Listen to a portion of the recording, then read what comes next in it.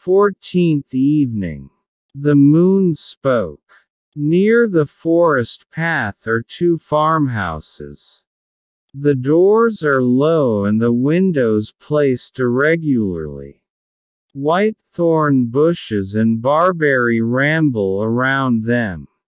Their mossy roofs are overgrown with yellow flowers and houseleek.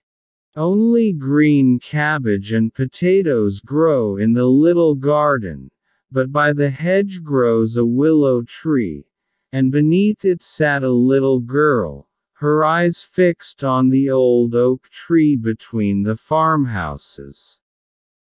Its tall and withered trunk had been sawed off at the top, and upon it a stork had built his nest. He stood above it now, rattling his bill. A little boy came out and stood beside the girl.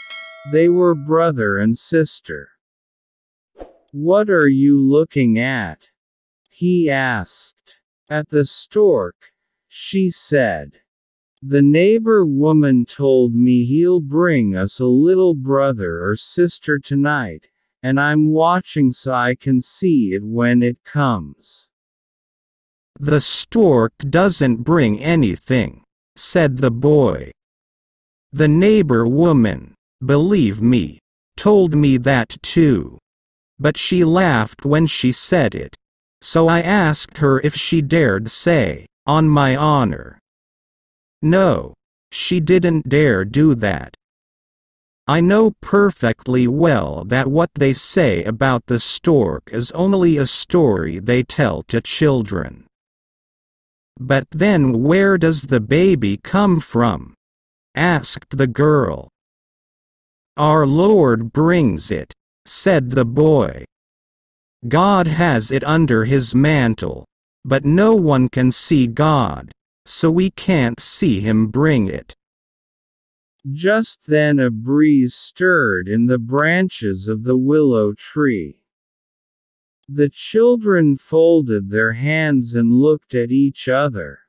Surely this was God, who had brought the little baby.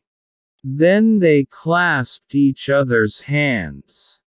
The door of the house opened, and the neighbor woman appeared. Come in now, she said, and see what the stork has brought you, it is a little brother.